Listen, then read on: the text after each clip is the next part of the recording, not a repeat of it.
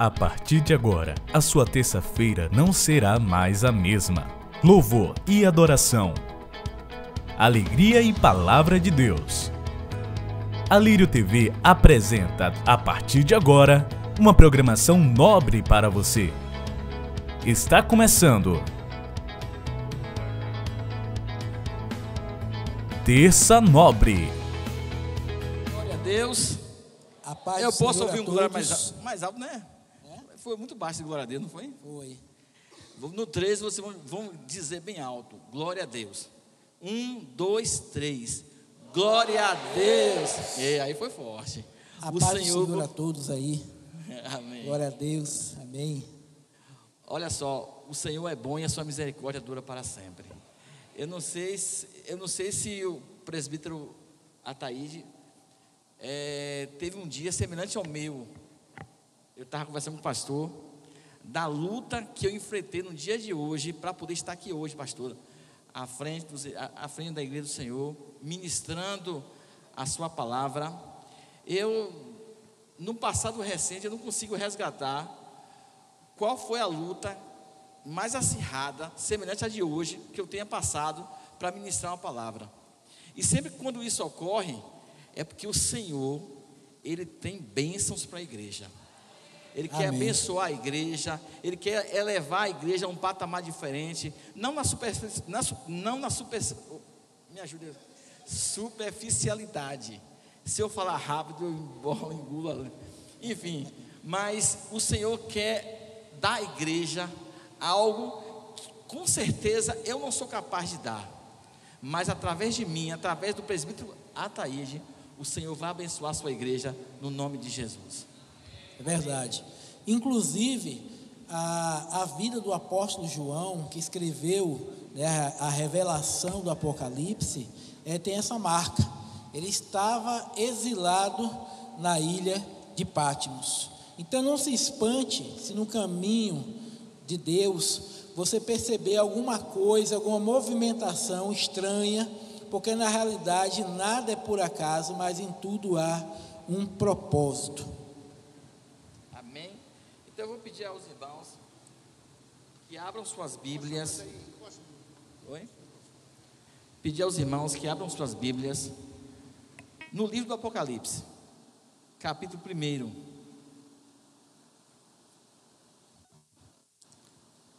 Amém? Baixe sua cabeça nesse instante. Vamos orar ao Senhor. Santo Deus, Pai de amor, Pai de misericórdia, nós te louvamos, Senhor, na beleza da tua santidade.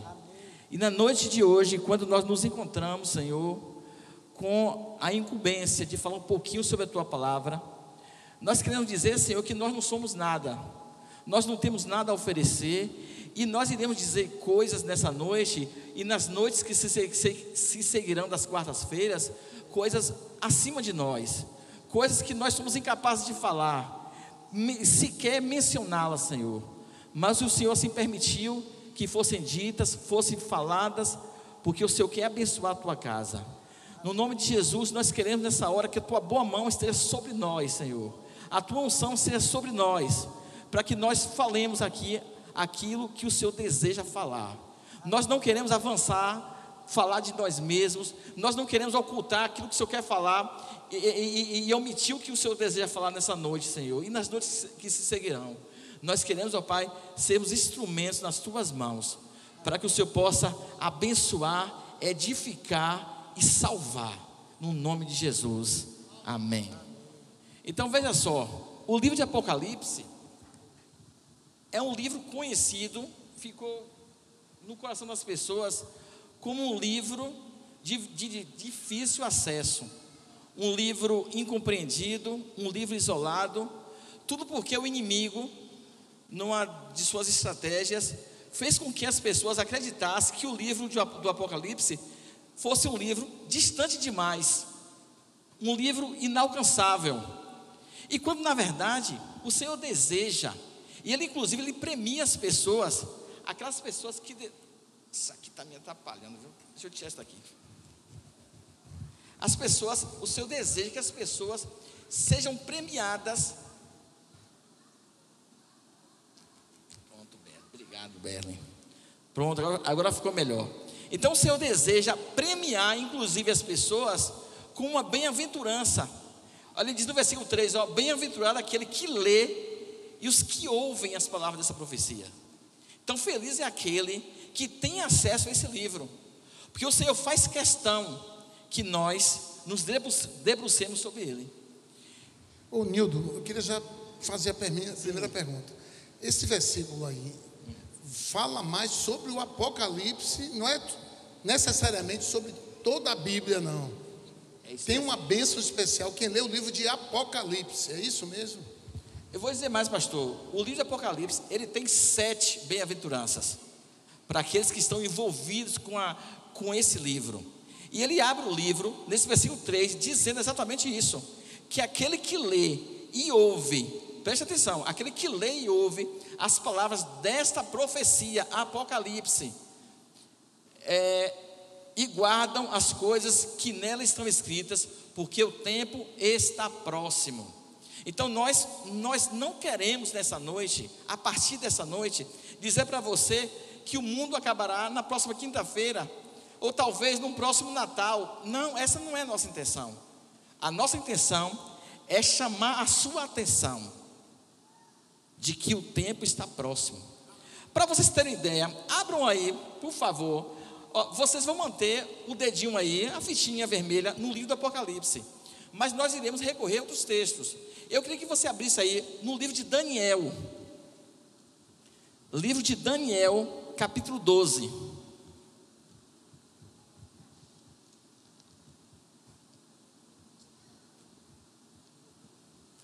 Daniel capítulo 12. Amém? Todos abriram? Amém?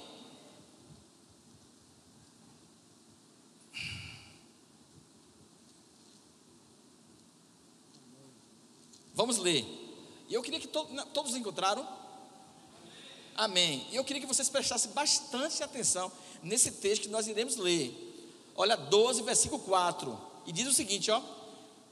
E tu, Daniel, fecha essas palavras e sela este livro. Olha só o que o Senhor está dizendo para está nos dizendo nessa noite, através do seu servo Daniel. Daniel, assim como João, também recebeu uma profecia, uma série de profecias.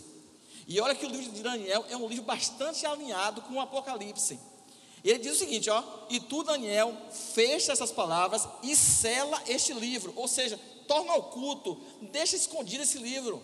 Não leva à luz esse livro agora não, até o fim do tempo. Muitos correrão, é só essa parte A mesmo. Então ele chama a atenção de Daniel, ó, pega o livro e sela essa profecia. Não é hora ainda do pessoal começar a é, é, é, desfrutar, é, entender essa profecia. Sela, mantenha um selado. Agora eu queria que você abrisse Apocalipse 22. Amém? E nós iremos ler o versículo 10. Olha o que aqui diz o versículo 10. E disse-me, não que ele diz aí, ele pede para Daniel selar. Aqui ele está dizendo para não selar. Não seles as palavras da profecia desse livro. Por quê? Próximo está o tempo. Entenderam aí? Que a nossa. Para selar, está o culto. O selo é para tornar o culto. Aqui é para descortinar. A palavra Apocalipse, por mais deturpada que ela tenha, tenha, tenha, tenha se apresentado, Apocalipse é catástrofe, é caos. A palavra Apocalipse significa revelar, tornar público. Porque o fim está próximo. Nós não queremos de forma alguma nos associar àqueles que dizem qual será a data do fim do mundo, mas nós queremos, através dessa série de estudos, chamar a sua atenção, provocar em você mudanças que possam gerar para você um futuro grandioso na presença do Senhor. Se prepara, arrependei-vos, que o tempo está próximo. Amém? Então, o livro de Apocalipse, ele é tido, dentro da, da literatura bíblica, pastor, como um livro escatológico. O que é escatologia? E nesse, nesse perfil, o livro de Apocalipse, ele não é sozinho. Você pode pensar que o livro que trata dessas coisas na Bíblia é apenas o Apocalipse. Não. O livro de Apocalipse, juntamente com outros livros, e eu diria a você, todos os profetas do Velho Testamento, alguns livros, algumas citações, algumas epístolas, também tem esse caráter escatológico. Mateus 24, o Evangelho trata de escatologia. A carta de Paulo igreja de Tessalônica, Tessalonicenses, também trata com muita ênfase. A carta de, da igreja de Corinto também trata. Só que no Novo Testamento, o livro que mais trata desse tema é o Apocalipse.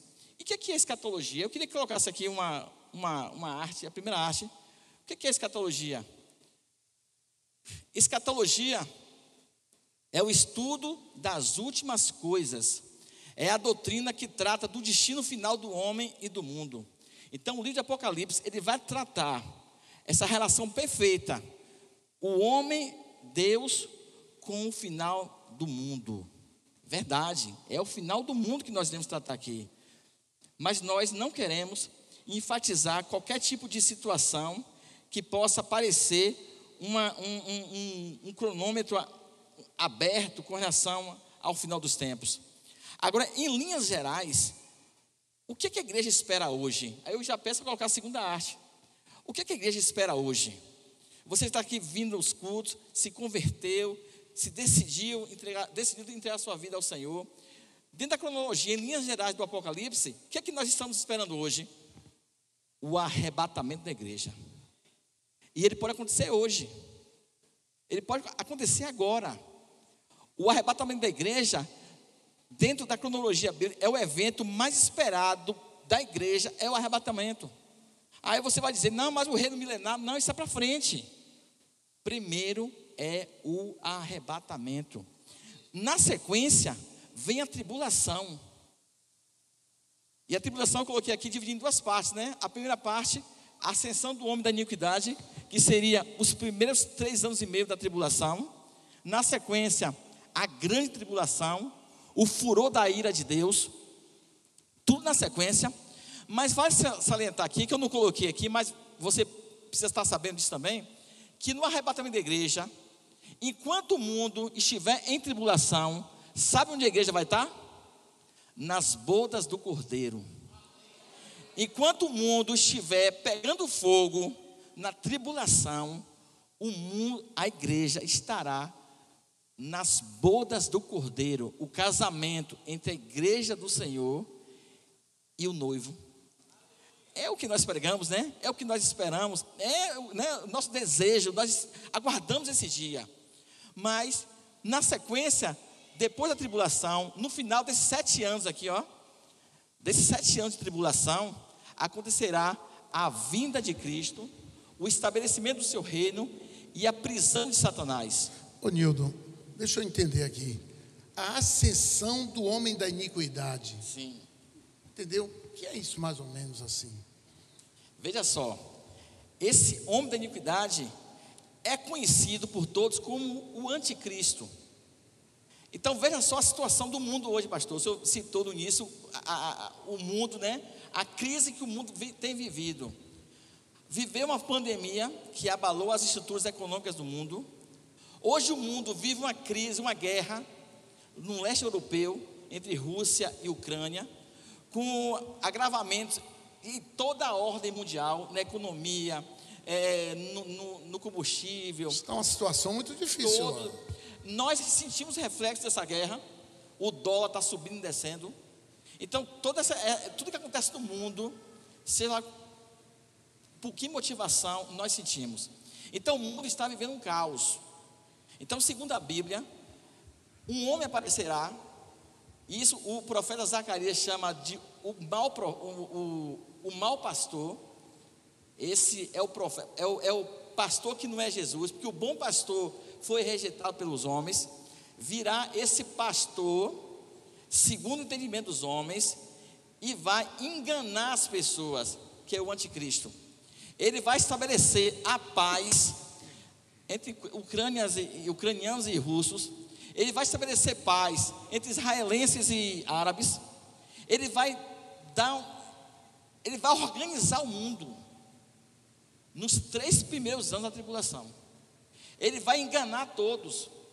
Israel vai recebê-lo como um bom pastor, vai achar que esse realmente é o bom pastor, esse é o homem que o mundo precisava, esse era o Messias. E na segunda metade da tribulação, três anos e meio, na segunda metade, ele vai mostrar quem ele é. E nesse período, ele vai se levantar é, contra tudo que se associa com Deus. É nesse momento que ele vai. Então, deixa eu entender, Nildo. Então, daqui, pode ser até daqui a uns anos, vai aparecer um líder mundial, muito bom, que vai prometer acabar com a fome né, da África tudo, e tudo. Aí todo mundo aplaudir. Durante três anos e meio, ele vai ser um bom. Ele vai ter paz. Enganando todo mundo. E aí, depois de três anos e meio. Ele vai mostrar quem ele é a verdade do caráter dele. Aí é, vai ser a grande tribulação. E eu digo a vocês o seguinte, ó, é a minha convicção. A igreja não passará por isso. A igreja fiel, as pessoas que tiveram suas vidas lavadas pelo sangue do Cordeiro, não passará pela tribulação. Amém. Não passará pela tribulação. Vai ser Amém. um período muito difícil, né? Hã? Vai ser um período muito difícil. Difícil. Então, olha só, irmãos, ó. No final disso aqui, ó, desse período aqui, de sete anos, as nações da terra, eu estou fazendo um, um, um apanhado, porque tudo isso nós iremos discutir ao longo dessas semanas. Então, as nações da terra, no final dos sete anos, pelejará contra Israel, lá no Oriente Médio. Pelejará contra Israel, para destruir Israel. Mas vamos ler então em Zacarias. Abram em Zacarias aí. Vamos adiantar isso aqui, só para vocês terem ideia do que vai acontecer nesse período aí, no finalzinho. Profeta Zacarias.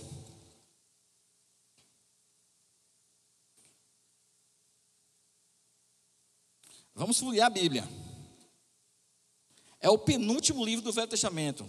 Você pode pegar Mateus e ir voltando aí, Malaquias.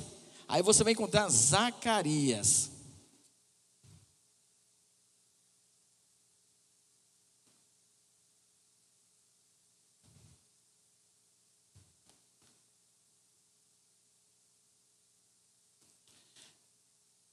É, é o capítulo 14, mas deixa eu ver em que versículo eu vou ler. Olha só, esse capítulo 14, ele vai dizer, ele vai narrar exatamente o que eu disse no início. Com esse caráter escatológico, não é somente o Apocalipse. Esse retorno de Jesus, a volta de Jesus e o estabelecimento do seu reino, está em Zacarias. O profeta Isaías também vai tratar desse tema. Então, são vários livros que compõem esse acervo escatológico da Bíblia. Então, veja só, nesse livro, ele vai dizer o seguinte, ó, versículo primeiro, ó. Eis que vem o dia do Senhor, em que os seus espojos se repartirão no meio de ti, porque eu ajuntarei todas as nações para pelejar contra, contra Jerusalém. E a cidade será tomada, e as casas serão saqueadas, e as mulheres forçadas. Eu acho interessante essa parte aqui, ó. E metade da cidade sairá para o cativeiro, mas o resto do povo não será expulso da cidade. Sabe o que é isso aqui? Porque quando o povo voltou do cativeiro de Babilônia, lá através do profeta Amós, Deus prometeu que eles nunca mais seriam arrancados de sua terra. Aí o, o, o, nosso Deus, ele faz questão de dizer o seguinte, ó, metade da cidade, não é a cidade toda, metade da cidade, porque a promessa dele repousa que nunca mais eles seriam arrancados da sua terra. Versículo 2, 3: E o Senhor sairá e pelejará contra essas nações, como pelejou no dia da batalha. E naquele dia estarão os seus pés sobre os montes das oliveiras, que está de frente de Jerusalém, para o oriente, e os montes das oliveiras serão fendidos pelo meio, para o oriente e para o ocidente. E haverá um vale muito grande, e metade do monte se apartará para o norte, e a outra metade para o sul. E fugireis pelo vale dos meus montes, porque o vale dos montes chegará até Azel. E fugireis assim como fugiste no terremoto nos dias de Uzias, rei de Judá. Então virá o Senhor, meu Deus. O que, é que diz o final do texto aí? Quem são os santos? A igreja arrebatada sete anos antes. Vocês estão percebendo isso aqui? Olha só, gente, ó. Lembra quando Jesus ascendeu ao céu, no Monte das Oliveiras? Quando os discípulos olhavam para olhando para cima, ele, ele, e o anjo disse para os discípulos: Não olhasse para cima, porque da mesma forma que ele subiu, ele vai descer. Ele vai descer sobre o Monte das Oliveiras, como está o texto. Só que ele voltará com a igreja, com seus santos, que ele arrebatou sete anos antes. Nesse dia aí, pastor, o falso profeta será lançado num lago de enxofre, Satanás será preso por mil anos, e o reino do Senhor será estabelecido por mil anos. Depois dos mil anos, é muito tempo, né? Satanás será solto e haverá o trono branco. Essa é, uma, é, é nós iremos tratar desse, desses, desses temas, né, Ataíde, ao longo dessas seis semanas. Hoje nós iremos nos ater somente no capítulo primeiro. E eu queria que você estivesse ligado nesse primeiro capítulo. A gente só ficou, acho que todo mundo ficou curioso assim, né? E Satanás será solto depois do trono branco. Então, assim, esse negócio de solto aí, né? Depois desses mil anos, né? Mas ele é solto para ser derrotado. Amém. Já está derrotado já. Amém. Ele vai ser solto. É, porque olha só, gente, ó.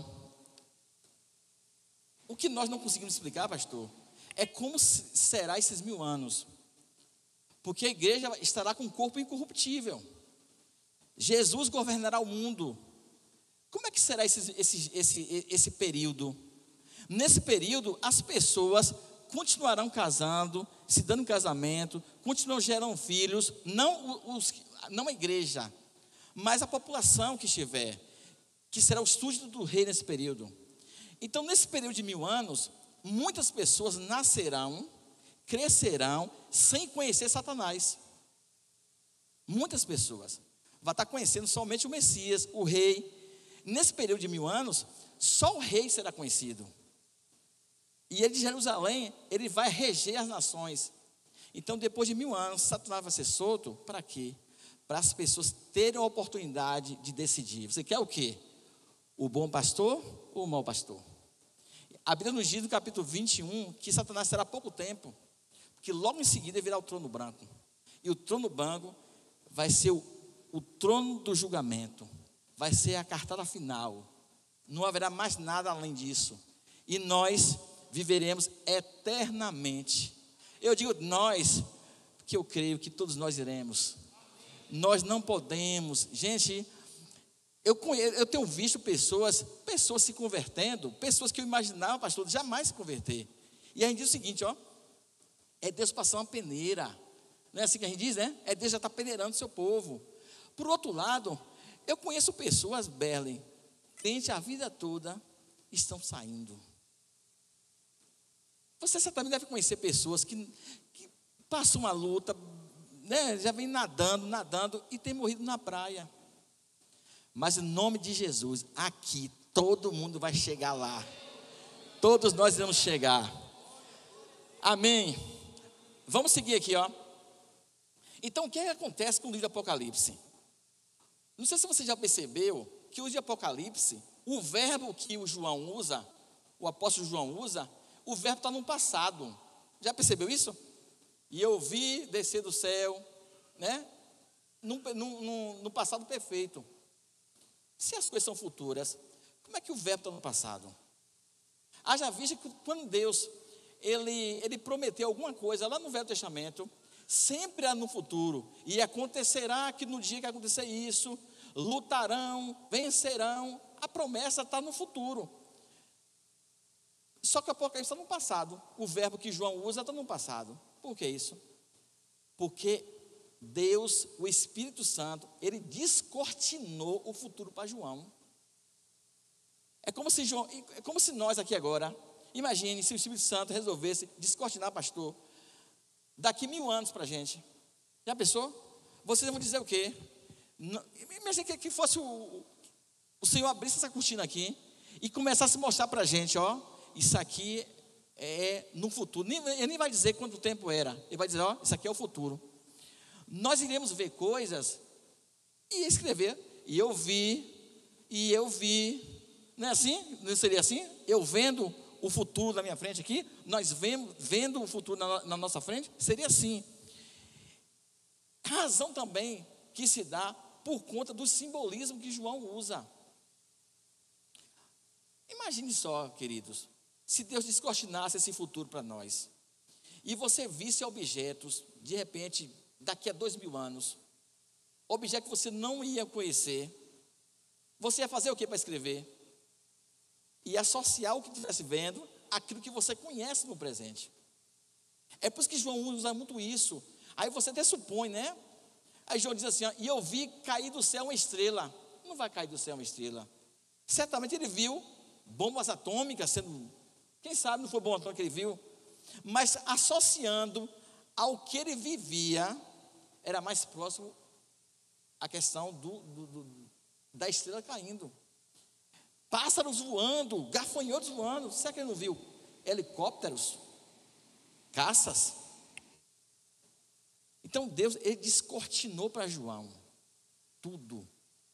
Ele usa disso aí que, é, que nós entendemos como simbolismo em muitas vezes. Mas o Apocalipse, ele é todo simbólico. Só que a simbologia do, do, do Apocalipse não é uma simbologia solta, porque João usa mais de 300 referências do Velho Testamento. Não é coisa distante, não. É coisa do convívio já de quem é crente, que conhece a Bíblia. Tem, tem, tem situações que ele coloca lá, quem conhece o Velho Testamento vai, ó, isso aqui é por aqui. Não é coisa distante do outro mundo, não. Ele usa o simbolismo para manter viva a mensagem. Ele usou simbolismo para isso. Já pensou se ele diz assim, pastor? E haverá um ditador mundial. Isso não é ficar na mente da gente, não. Mas o que, é que ele diz? A besta se levantará. Isso fica. A mensagem do Apocalipse, naquela época, se fosse pega pelos soldados romanos, o que, é que eles iriam entender? Não ia entender nada. Ia dizer que o que João estava escrevendo era um livro de enigma. Então o simbolismo também mandou a mensagem certa para as pessoas certas, o povo de Deus. Porque essa mensagem do Apocalipse é para fortalecer e dizer para o povo de Deus: ó, se prepare. Está chegando a hora. Então as pessoas que não conheciam, não eram afeitas a essa mensagem, não iam entender, não o soldado romano não ia entender a mensagem, mas quem é crente, que conhece a palavra do Senhor, ia entender. Por isso que ele usava o simbolismo. O simbolismo se perde no tempo, o simbolismo ia, era endereçado à pessoa certa. Então João não queria deixar nada, nada solto, mas com uma mensagem entregue diretamente ao seu portador. Então, além de descortinar, o Espírito Santo fez com João, além de descortinar o futuro, ele revela a João também, e, e por isso, por, conse por consequência, nos é revelada o Cristo glorificado. Olha que João tinha tido acesso a Jesus 60 anos antes disso aqui, mais ou menos.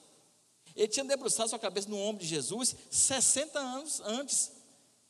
E de repente ele se depara com Cristo glorificado. Então, João, ele foi, foi, foi um, um, um, uma experiência para João fora do comum, além do normal. Ele não tinha capacidade nenhuma para entender aquilo, aquilo lá. Portanto, a mensagem do Apocalipse, ele vai tratar exatamente de Jesus. A mensagem central do Apocalipse é Jesus Cristo. Nos capítulos de 1 a 3, ele vai apresentar Cristo como rei e sacerdote. No capítulo 4 a 5, ele apresenta ele é apresentado do céu como um cordeiro glorificado de Deus, reinando no trono. Nos capítulos 6 a 18, Cristo é o juiz de toda a terra. Nos capítulos 19, ele volta à terra como o rei dos reis vitorioso. E no capítulo 20, é, 22, 21 e 22, o livro encerra com o noivo celestial conduzindo a noiva à igreja, à cidade gloriosa. Esse é o resumo do Apocalipse. Agora, o recheio de tudo isso é que nós devemos nos acautelar, porque nós não podemos nadar, nadar e morrer na praia. E sermos enganados por Satanás, o mestre do engano. Eu queria colocar essa última arte aí, por favor.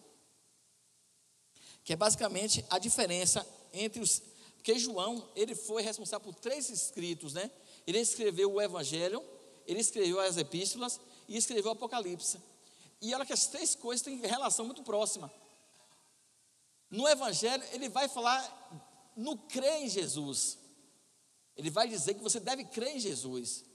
Nas epístolas, ele vai mostrar que você tem que ter certeza.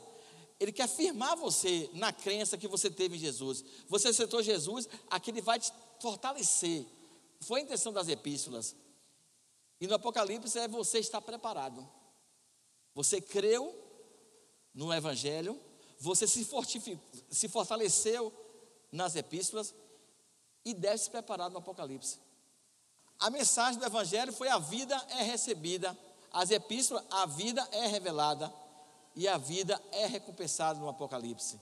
O Evangelho trouxe a salvação, as epístolas trouxe a santificação e o Apocalipse a soberania. Jesus se apresenta no Evangelho como um profeta, nas epístolas como um sacerdote e no Apocalipse como um rei. Então, as mensagens de João, você vai dizer, não, um, um, é, em momentos diferentes, mas todas elas se completam. Elas, elas falam de Jesus em suas diversas formas do seu ministério: o profeta, o sacerdote e o rei. Amém? A igreja está entendendo? Agora voltemos agora para o capítulo 1 de Apocalipse.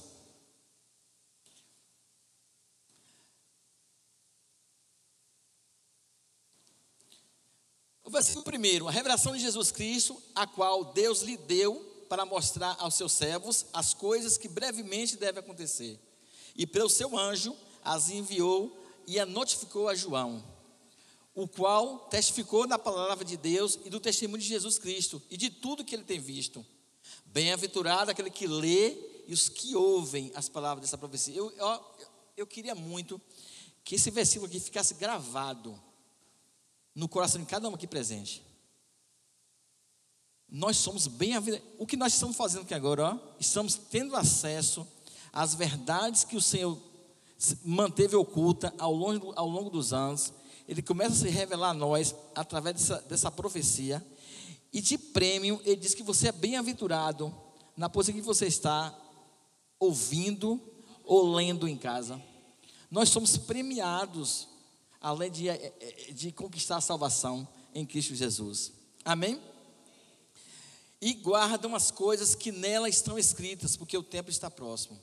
João, as sete igrejas que estão na Ásia, graça e paz seja convosco da parte daquele que é, e o que era, e o que há de vir, e das doze, dos, dos, dos sete espíritos que estão diante do, do seu trono, e da parte de Jesus Cristo, que é a fiel testemunha, é o profeta, o primogênito dos mortos é o sacerdote, e o príncipe dos reis da terra é o rei, aquele que nos ama e em seu sangue nos lavou dos nossos pecados, e nos fez reis e sacerdotes para Deus e seu Pai, a Ele glória e poder para todos sempre. Amém. Olha só, a princípio, o livro do Apocalipse, ele é endereçado às sete igrejas do Apocalipse.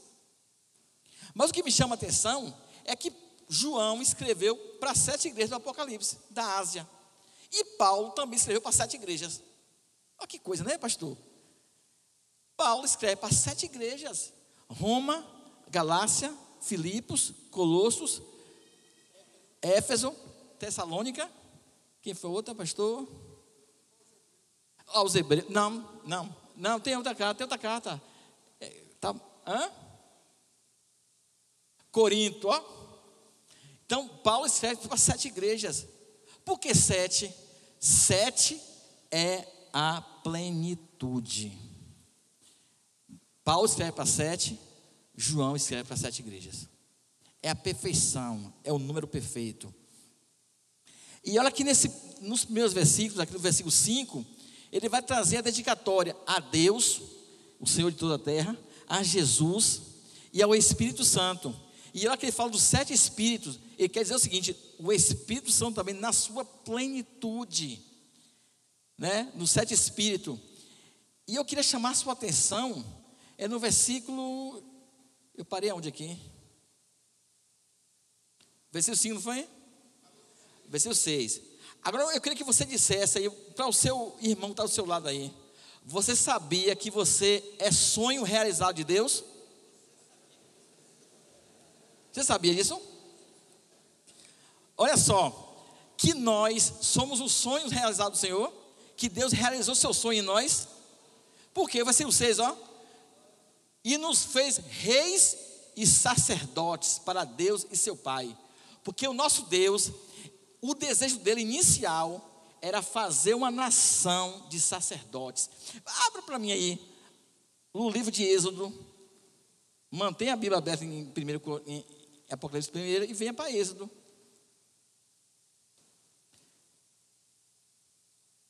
Abriu? Êxodo capítulo 19, segundo livro da Bíblia. Versículo 5. Amém? Vou correr aqui, viu, irmãos? Agora, pois, se diligentemente ouvis a voz, a minha voz, guardares o meu conserto, então sereis a minha propriedade peculiar dentre todos os povos, porque toda a terra é minha. Ao versículo 6. E vós me sereis o que aí? Aí tá bom. Reino sacerdotal. O que você conhece de Israel é que havia uma tribo sacerdotal, mas essa não foi a vontade de Deus. A vontade de Deus era essa aqui, ó. Era que Israel fosse um reino de sacerdote. Quer ver uma prova? Adiante aí para o capítulo 24 de Êxodo. 24 de Êxodo.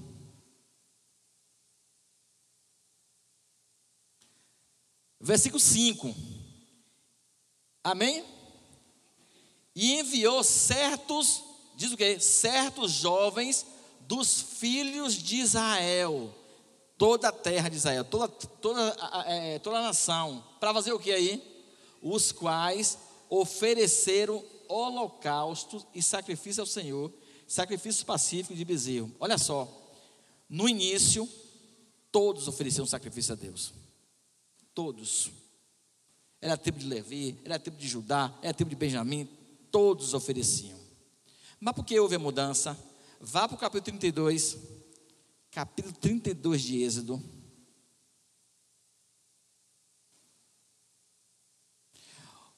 O fatídico bezerro de ouro. O bezerro de ouro mudou essa estrutura.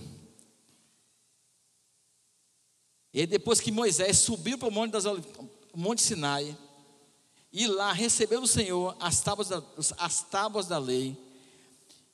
O povo no arraial se entregou ao bezerro de ouro.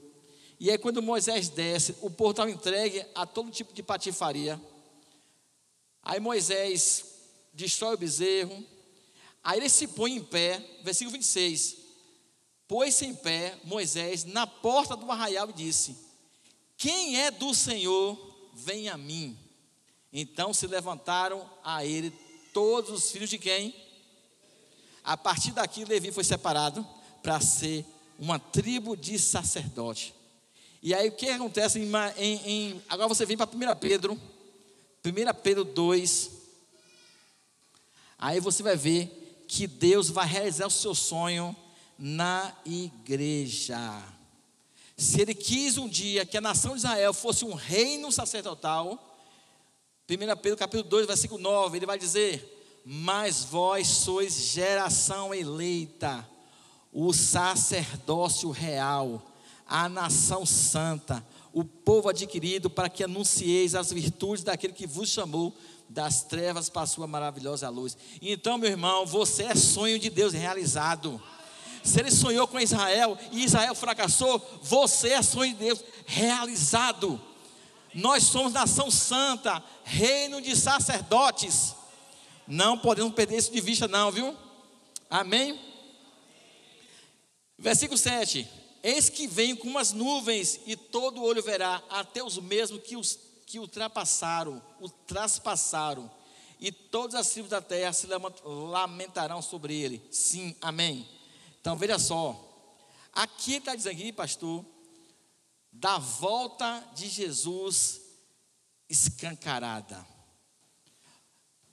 Nós colocamos aqui que a igreja aguarda um arrebatamento. esta será uma volta no secreto.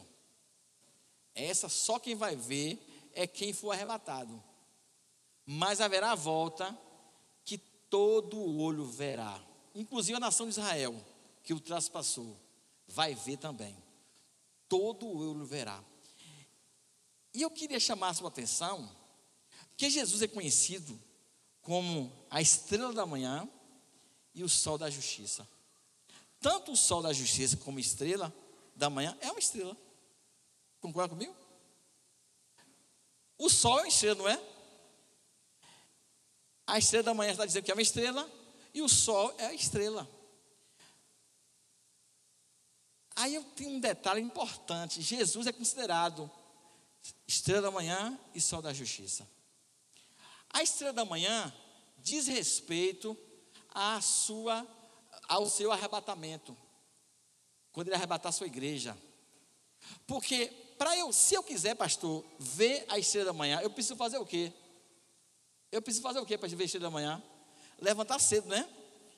Que a estrela da manhã, ela brilha antes mesmo do brilho do sol. Você vai levantar cedo, você vai ser diligente, você será prudente para ver a estrela da manhã. Então você vai se preparar assim como você se prepara hoje para o arrebatamento. Você faz parte das dez virgens, das, das virgens prudentes, que vai ser diligente em guardar azeite para ver a estrela da manhã. Aí só quem vai ver a estrela da manhã são os diligentes. O que acorda à tarde vai ver? O de, de qualquer jeito vai ver a estrela da manhã?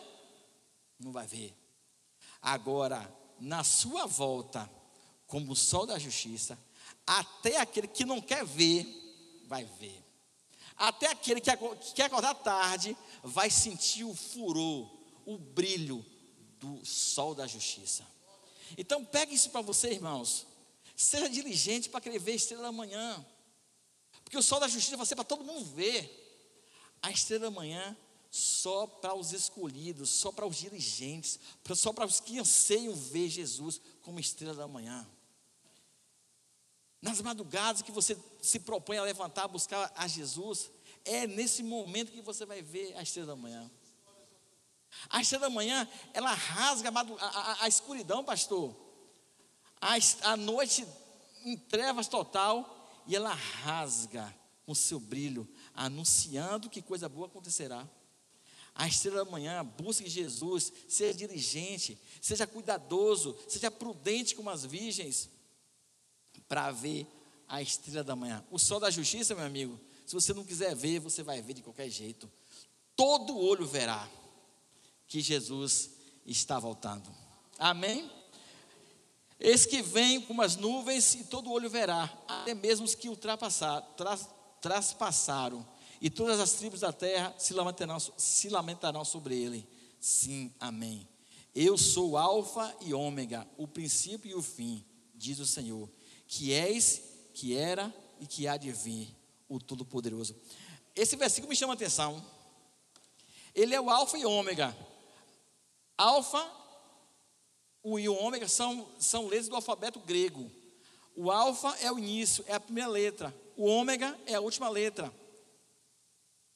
O que me chama a atenção é que no mesmo texto ele vai dizer assim: ó, eu sou é, o que era, o que é e o que há de vir.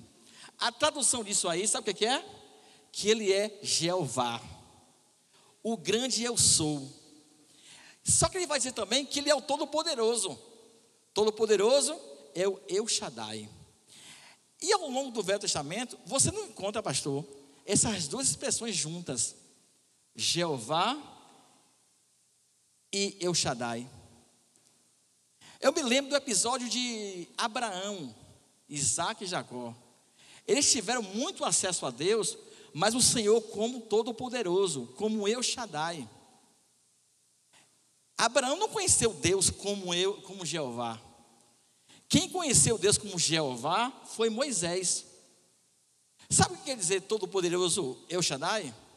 É aquele Deus que promete e sustenta você na promessa. É o papel do El Shaddai. Imagine, pastor, senhor, vamos fazer uma retrospectiva aqui agora.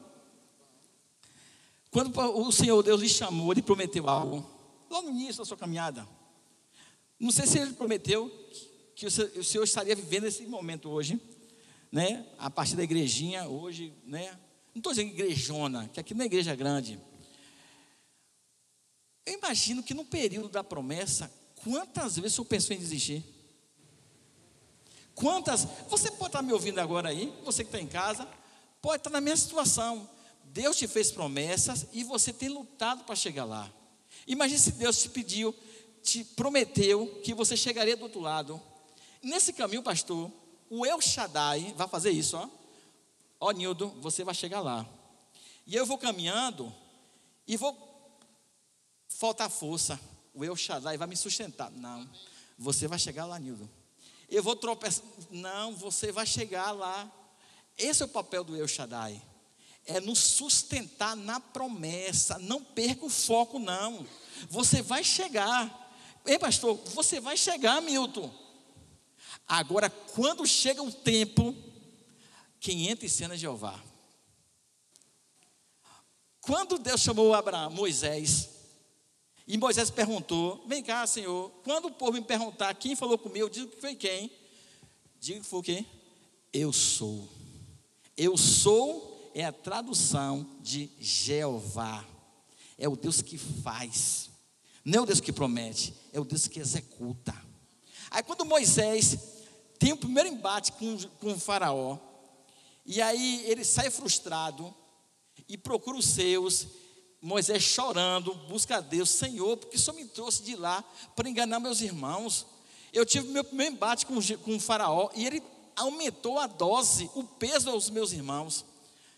A hora que ele fala para Moisés, Moisés, Abraão, Isaac e Jacó me conheceu somente como eu Shaddai, o Deus que promete. Você me conhece agora como um Deus que realiza. É o Deus que faz. Eu sou Jeová, o grande eu sou. E aqui ele bota os dois para você aqui, ó. Ele é o Deus que faz e o Deus que nos promete, que nos sustenta. Você, meu irmão, você pode estar caindo, você pode estar desanimado, mas Deus vai te sustentar e você vai chegar lá. Não baixe sua cabeça, não. Você vai chegar lá, porque o dano, o Todo-Poderoso, vai te sustentar. Glória a Deus. Jeová é o Deus que faz. É o Shaddai. É o Deus que nos sustenta. Tá difícil aí? Tá difícil? Presbítero, ouvi você falar aí de, de fim do mundo, de tempo está próximo, mas está difícil para mim aqui eu não estou suportando mais. Estou em tempo de chutar o balde aqui. Não chute, não, meu irmão. Deus te trouxe aqui hoje para te sustentar, para dizer que ainda tem, ainda tem azeite para você. Ele não vai desistir de você. Ele está dizendo para você agora, ó. Eu sou todo poderoso, o El Shaddai. E no tempo certo, no lugar certo, Jeová vai entrar em cena. Glória a Deus. Versículo, que era essa? Pastor, nove horas. Meu Deus do céu. Irmãos, é, versículo 9. Aqui Deus se revela, a partir de então, Deus, Jesus se revela para João. Como eu disse antes, João havia visto Jesus há 60 anos atrás, ele muito jovem, e aqui ele se depara com uma imagem gloriosa de Jesus. Ele vai ver Jesus é, com as roupas, com roupas, deixa eu abrir aqui, com roupas reais, cabelo branco, com uma branca, branca lã, simbolizando a eternidade. O livro de Apocalipse, ele, ele é muito alinhado, muito alinhado com o livro de Daniel, muito alinhado. Se parece demais o livro de Daniel e o que vive, fui morto, mas eis que estou vivo para todo sempre. Amém. E tenho as chaves da morte e do inferno. Sabe o que ele quer dizer com isso aqui? Três coisas. Ele quer dizer para você, ó, não tenha medo da vida, eu sou eterno. Ele diz assim, ó, não tenha medo da morte, eu venci a morte. Não tenha medo do inferno, eu sou eterno. Eu tomei aqui, ó, está nas minhas mãos a chave da morte e do inferno. Sabe o que isso quer dizer, Pai? Ô, Nildo, é isso. Eu queria saber como é isso. Que Jesus tomou a chave do inferno. Como é isso aí? Entre outras coisas, o diabo nem a chave da casa dele tem. o diabo não tem a chave da sua própria casa. Ele nem tem... fez a casa também, né? nem construiu a casa. exatamente. Irmãos, o nosso Deus, esse Deus que você serve, Ele é Todo-Poderoso. E tem toda a autoridade está sobre Ele. Então, essa chave da, do, do, inferno, da morte, está nas mãos dele, porque a autoridade está na mão dele. Ele que decide a morte. Antes, o povo vivia, vivia morrendo, morre até hoje, né? Mas era no domínio das trevas. Hoje não. Está nas mãos dele. Ele tem toda a autoridade. Ele venceu Satanás. Ele venceu todo o império das trevas. E olha que tem gente, pastor, que vê o inferno como um lugar apartado de Deus. Vê o inferno como um lugar apartado, que Deus não tem nada a ver com o inferno. A chave do inferno está na mão dele. E o inferno, irmãos, é lugar de juízo de Deus. É no inferno em que, Deus manifesta o seu juízo. Satanás será lançado lá e todo aquele que não aceitou, rejeitou, brincou com Deus, vai para lá. Recebeu o juízo eterno. O nosso Deus também é juízo. A gente esquece disso, pastor. A gente só abraça a ideia de que Jesus é amor, Deus é amor, mas também é juízo. E a expressão, a configuração, o entendimento de juízo de Deus é o inferno. e é chave pela mão de quem? Então, não sei se eu estou certo, eu penso assim que o inferno não foi feito para o ser humano, foi feito para o diabo e seus anjos. Entendeu? Então, Deus que preparou para jogar lá, como, como, um prisioneiro, né? Ele não é dono, ele está morando, é prisão perpétua, mas ele não é dono daquilo, ele nem tem a chave. Então, Deus é que tem o controle. E às vezes a gente pensa assim, que Satanás é um Deus. Tem dois deuses. Deus e o Deus Satanás. Mas na verdade, Satanás é uma criatura de Deus. Não tem nem como competir com Deus. Eu estou certo, é isso mesmo? É criação de Deus e ele se rebelou. O senhor pregou há pouco tempo aqui, não sei se foi no domingo passado, falou sobre o querubim. O único querubim ungido, ungido se rebelou e ele recebeu o reto juízo. Isso aí você não pode questionar. E quem pensa que ele é Deus, que pode fazer alguma coisa, está mais perdido que ele. Mas o inferno foi preparado, e ele diz isso claramente lá em Mateus: o inferno foi preparado para Satanás e seus anjos. Não foi para nenhum de nós. Está repreendido na vida de todo mundo aqui. Não foi para o homem, mas Para aquele... nós foi, foram preparadas as moradas celestiais. É, antes da fundação do mundo. Do mundo, exatamente. Mas aquele que rejeitar, aquele que não der importância à palavra do Senhor, infelizmente, vai morar junto com Satanás. Amém, irmãos? Quer falar, Beren? Ele está brincando aqui, está dizendo que de cadeia você entende. Boa, Beren. Versículo 19. Então, olha só, não temos. É, olha só, gente, eu estou terminando já. Mas uma, algo que, importante a gente perceber, sabe o que é, pastor? E o senhor é testemunho disso. É que as pessoas têm brincado demais diante da presença de Deus. Brincado demais. Achando que, que você pode se portar de qualquer jeito. E a hora que ele nos chama atenção, que seria com decência e com ordem, né? Os cursos na, na galeria, hoje, o que, que o senhor está querendo que os presbíteros fiquem na galeria, porque se brincar, o nego brinca lá em cima. Não considerando, não fazendo questão da presença do rei. Achando que está de qualquer jeito, você pode ficar de qualquer jeito, você tem o tempo, o tempo todo do mundo. João, quando se encontrou com ele, João caiu como morto. Daniel, quando se encontrou com ele, caiu com o rosto em terra. Ezequiel, Isaías, todos eles não se mantiveram de pé. E hoje nós vivemos uma geração que acha que pode se apresentar diante do rei de qualquer forma. João se encontra com ele, um rei acima de toda glória. E nós precisamos respeitar essa glória de Deus. Os crentes de hoje, a geração nossa, precisa entender que Deus não é menino. Ele é o juiz de toda a terra. Vamos nos apresentar a Ele nos cultos com decência e com ordem. Não é todo mundo faz isso, não. Mas tem uma boa parte, pastor, que brinca, como se estivesse na frente de qualquer pessoa. Você está diante do rei, o rei está aqui. Onde tiver dois ou três, ali eu, eu me faria presente. Ele está aqui conosco. Ele está conosco. Amém? Não temas, eu sou o primeiro e o último. E o que vive Fui morto, mas eis que estou vivo para todo sempre. Amém. E tem uma chave das mortes do inferno. Escreva as coisas que tem visto, e as que são, e as que depois dessas hão de acontecer. O mistério das sete estrelas que viste na minha destra, e dos sete castiçal de ouro. As sete estrelas são os anjos das sete igrejas, e os sete castiçais que viste são as sete igrejas. Isso aqui é para a semana que vem. Amém? Glória a Deus. Que o Senhor nos abençoe, em nome de Jesus. Amém. Glória a Deus. Glória a Jesus. Na semana que vem, né, Nildo?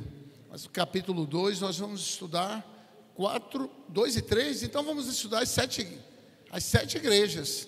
Eu pensei que ia ser só o capítulo 2, né? As quatro, 2 e 3. Então tem muita simbologia saber qual o perfil de cada igreja. Cada igreja tem uma mensagem oculta atrás disso aí. Então, você é nosso convidado para estar aqui. Convide mais alguém. Às vezes a pessoa não é crente, mas tem curiosidade sobre o Apocalipse. Se você quer ouvir, aprender um pouquinho sobre o Apocalipse, olha, vai falar sobre as sete igrejas do Apocalipse. Ela vai conhecer mais da palavra em nome de Jesus. Coloque a mão no seu coração. Que a graça do nosso Senhor e Salvador Jesus Cristo, que o amor de Deus Pai, a comunhão e as consolações do Divino Espírito Santo sejam com todos nós e, todo, e com todo o povo de Deus espalhado por toda a superfície da terra. Vamos em paz. Que o Senhor nos abençoe em nome de Jesus. Amém. Sente-se, faça uma oração ao Senhor. Você que está em casa, Deus lhe abençoe. Continue também conosco até o final desse estudo, em nome de Jesus. Amém.